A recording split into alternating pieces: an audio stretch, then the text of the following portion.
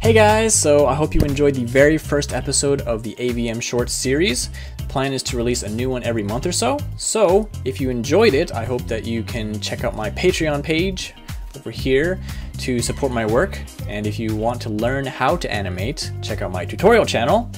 And if you like Minecraft itself, I have a Minecraft channel, so check that out here. And if you have any suggestions for future episodes, please leave them in the comments. Otherwise, thanks for watching, and I'll see you guys in the next episode.